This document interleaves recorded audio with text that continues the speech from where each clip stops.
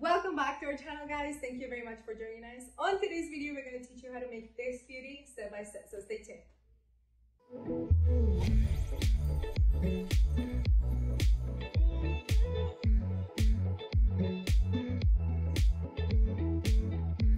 Welcome back guys, it's your boy Mario aka Mr. WeBalloonz. We're gonna go ahead and get started with this IKEA lamp which is perfect for this project as it is very inexpensive. It's around 10 or 12 Canadian dollars and all we're gonna use is the base and the pipes that come with it.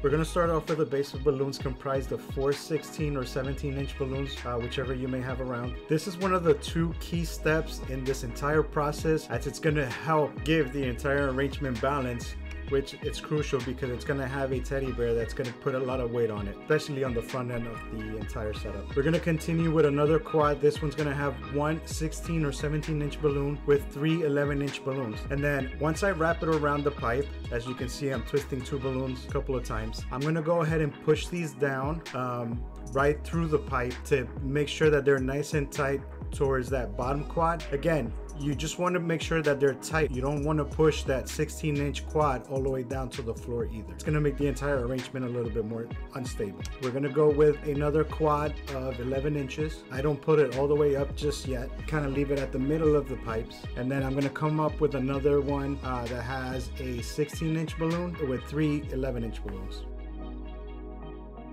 Some of you may wonder how we distribute our colors. The way that you distribute your colors is going to depend on the amount of colors that you have and on personal taste, and sometimes on trends. This one I'm going to go ahead and push up almost to the top of the pipe, not all the way, but close to the top, fairly close. I'm going to push that bottom one up. Again, we're going to try to keep a nice tight fit between the two quads.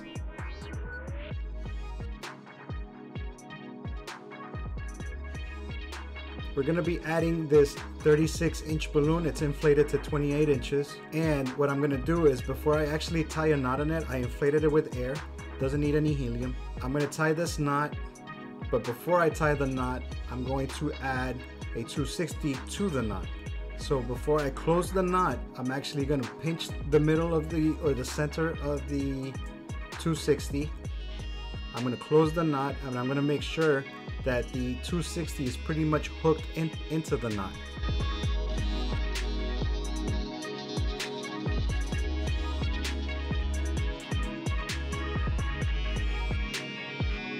We like to cut off the necks uh, just to make sure that they're not so visible. Uh, sometimes there are going to be small gaps uh, from any angle. Somebody could be standing or sitting on, on the side or uh, behind it and you don't want them to see that neck sticking out especially when it's got a a pink balloon that sticks out like a sore thumb. Now I'm gonna wrap the two ends of the 260s one coming around on the right side and the other one coming around on the left side and then I'm gonna tie a couple of knots. Uh, one is not enough. One can come undone very easy especially during transportation. So two sometimes three just to make sure that it's not to go anywhere that 260 keeps the 36 inch balloon very nice and tight to the two quads at the top of the pipe. And this is Alex. Hello guys. Now we're going to make this arrangement a lot fuller. We're going to incorporate our teddy bear and before uh, you're going to go and place your teddy bear where you want it uh, we normally do it on top of the balloons and I kind of see where the attachment point needs to be so the head is um, nice and straight. I'm gonna take like a piece of the back of the head without the stuffing, okay? And we're gonna wrap a 260 around it. There is a technique where you use a bead or something like a piece of uh, balloon or something in between like the part that I'm pinching right now um, to prevent the 260 to slip out but this um, this part that I'm grabbing is pretty thick. So um, there is absolutely no need to add anything else okay? You're gonna see here where I'm holding the teddy bear from the top and you'll see that the 260 is pretty secure and that's all we need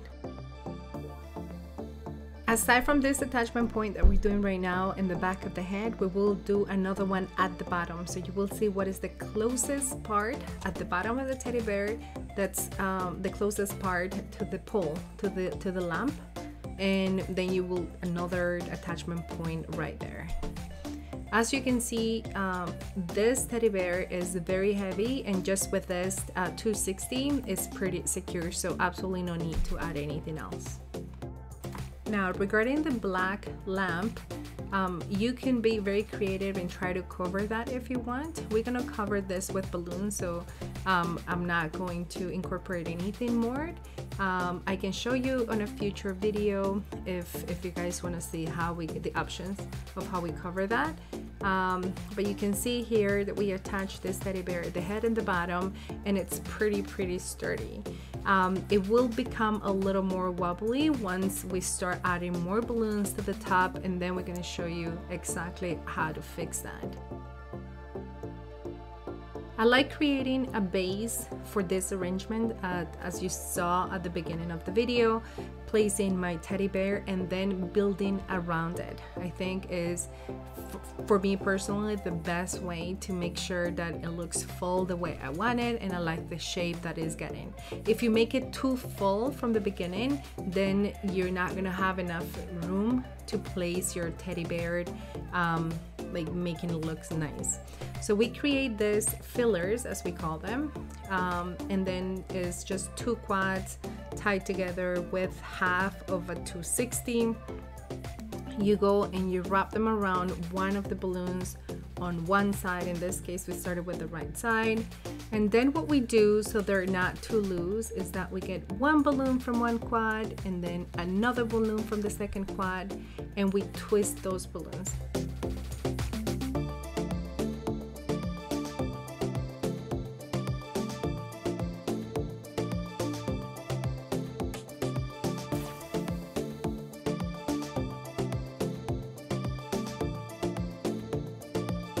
Now we're gonna do the same on the other side. Again, the 260, we just wrap it around one balloon. And sometimes I just wrap it around two balloons if I can. And now here you see how I pointed the two balloons that I was gonna twist. And that way they're not gonna move. Now, I will always recommend that you step back, look on your phone. That's what I was doing just now um, look on your phone and look at the shape of the balloons. Make sure that you like everything. And if you don't then just go back and move things around until you're happy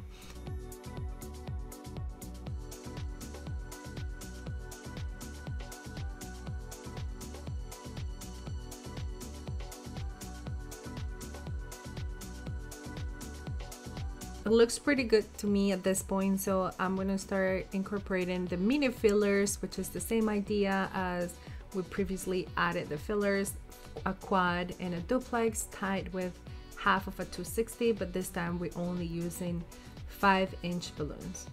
Um, we like using 5 inch, 11 inch, and 16 inches um, inflated to different sizes. So we, for this type of arrangements, we do not use the nine inches.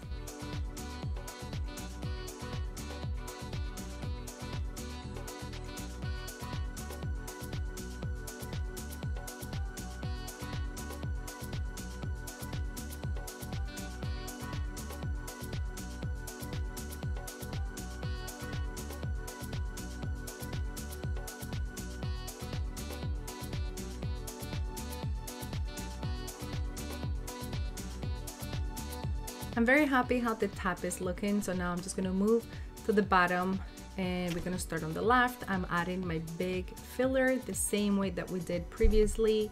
Uh, make sure you twist those two balloons to keep everything in place. Then we're gonna add the mini fillers.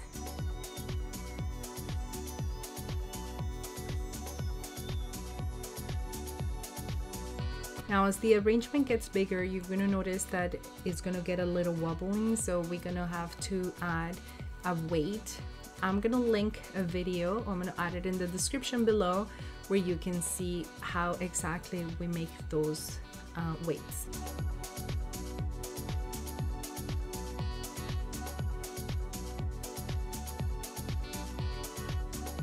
And we're gonna do the exact same thing on the other side. We're gonna add our big fillers, then we're gonna add our small fillers, the five inches.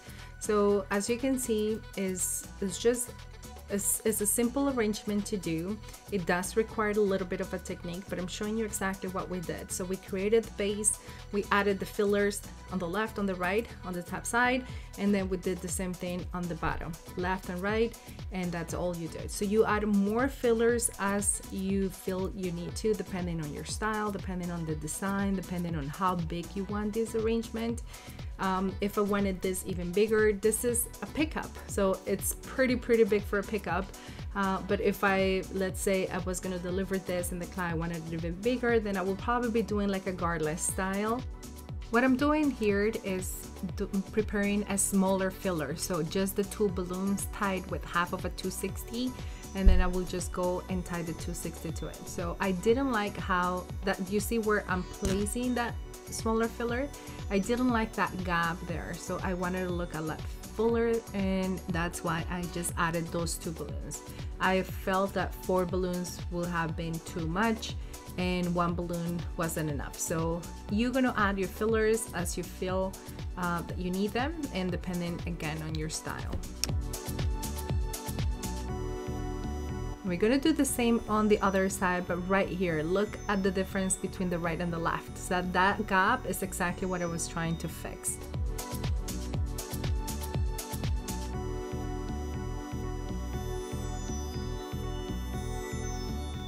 And now you can see here that the weight of the overall arrangement, specifically the, the weight of the teddy bear, is pushing the entire arrangement forward. So we're going to finish this and we're going to add the weight. We make our own weights and on the previous video that we posted how to make a pool balloon arch, we show you the step-by-step -step how to create this weight right here. So if you need help or a different alternative, uh, make sure to check that out. Now see how I push this arrangement here and it's not gonna go anywhere because we just added that weight at the bottom. Now I just wanted to take a minute to talk about our signature program. It's called WeBalloonz Tribe and we just opened that program a few times in the year. So be sure to sign up for the wait list so you are the first to be notified. Inside the program we teach you everything that you need to know about balloons from the very beginning so you can start or you can scale uh, a profitable balloon business. And we focus on your technique, making sure that you have a beautiful product to offer, and also on how to sell it, how to attract the right type of client, and how to sell it to your clients so you can profit. Um, now, just a few tips about your vinyl. I like starting with the biggest word first. As you saw here, I did grade two first, then I add the top and the bottom, whatever other words I have. But the main, um, like the main word will always go first. And I also like to have my balloon against the wall so when I put pressure, it's a lot easier. And the other question that I get a lot is what brand of vinyl I use and I like all the Cricut products. Uh, right here at the end, I'm just adding um, orbs, those very beautiful mini orbs, rose gold, and the other one is called white gold because my client had asked specifically for those and so I just added at the at the end at the very end so every time that you're just gonna add like a fancy balloon uh, you add it at the very end We thought this arrangement turned out spectacular. Our client loved it. Please let me know your thoughts. I want to hear from you. What was your favorite part and if you're going to try to do something similar.